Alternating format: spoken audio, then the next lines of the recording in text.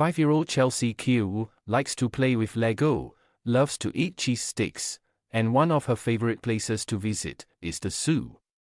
She's just like any typical kindergarten child. Said her father, 35 year old business analyst Raymond Q. But Chelsea's birth, in 2018, was anything but normal. She was born extremely premature, at 22 weeks, or over 5 months, of pregnancy. And is the only baby born in Singapore at 22 weeks, in the past decade, to have survived. A baby is considered full term from the 37th week onwards. Dr. Tan P.H. Lin, a senior consultant at the Department of Neonatology at KK Women's and Children's Hospital KKH, said that globally, less than 1% to 2% of babies are born at 22 weeks. Dr. Tan said of her patient, Chelsea is the only survivor at 22 weeks gestation in Singapore, which makes it an extremely rare and unique case. Chelsea's mother, Madam Lin Xiao Chi, a housewife in her 30s, said her daughter was as small as a 100Plus bottle, referring to the isotonic drink bottle. When she was born, to be exact, she weighed 510 g and measured 28 centimeters in length at birth. Newborns usually weigh between 2.5 kilograms and 3.5 kilograms. Dr. Tang said that Chelsea's chances of survival were close to zero at birth. She went through a slew of life sustaining treatments and spent 166 days, or more than five months, in hospital before she was discharged.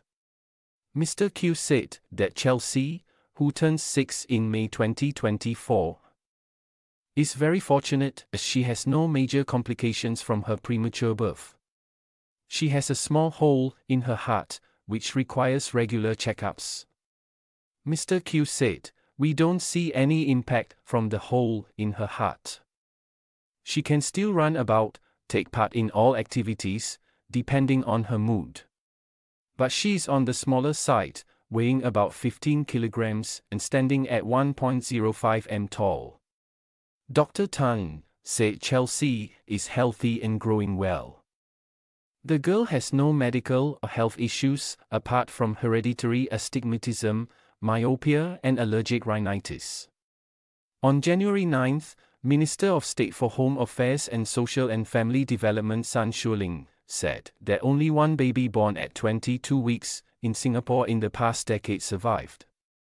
Ms. Sun said this at the second reading of the Stillbirths and Births Miscellaneous Amendments Bill.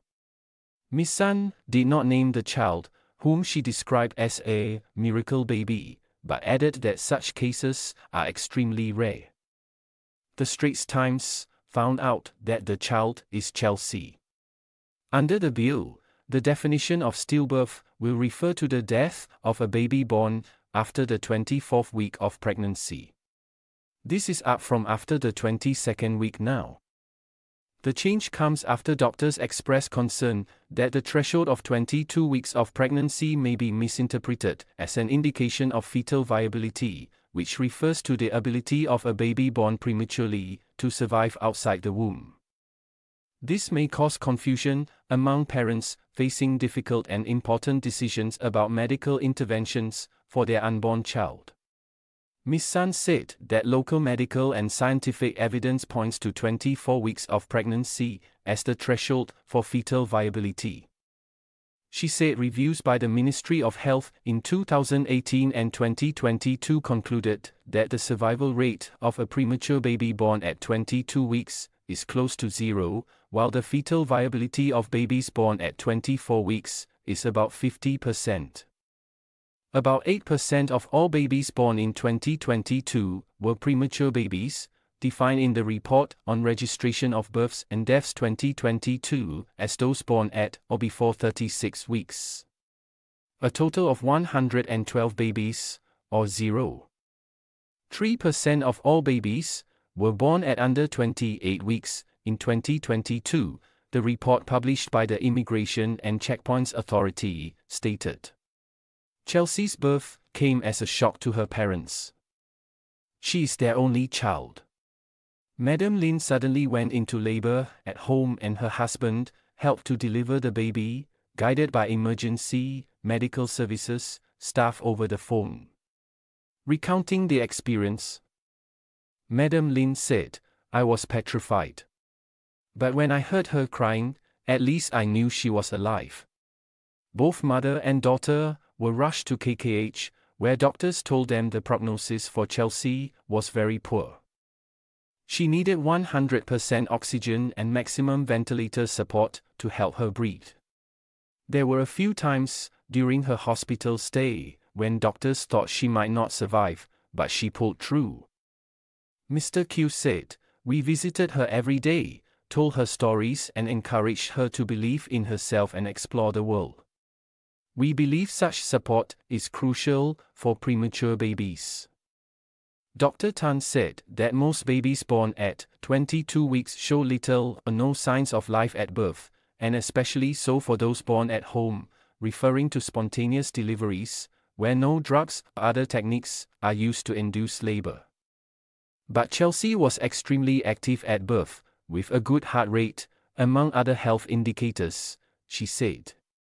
Her hospital bill eventually came up to $330,000. But the Qs paid about $3.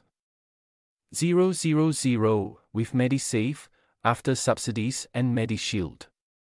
Dr. Tang said Chelsea had chronic lung disease, which required respiratory support for nine months after her discharge. She later recovered and grew out of the condition. She was also fed with a feeding tube for a period of time, Mr. Q said.